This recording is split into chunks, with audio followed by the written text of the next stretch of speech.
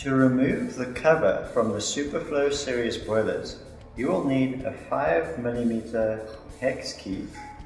There is an Allen head bolt on the lower part on the left and the right of the boiler. Use the Allen key to undo the bolt until it is loose.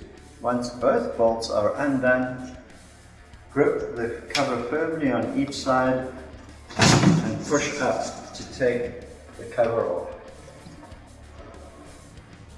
If you have a call for heat to the SFC series boiler and the boiler is not responding, we can test the call for heat by using a jumper and a small flat blade screwdriver.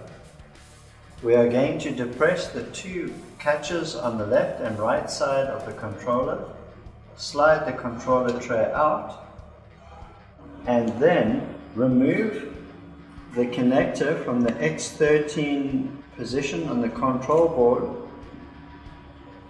Take your thermostat wires out and install a jumper between position 1 and 2 for your space heating demand. Then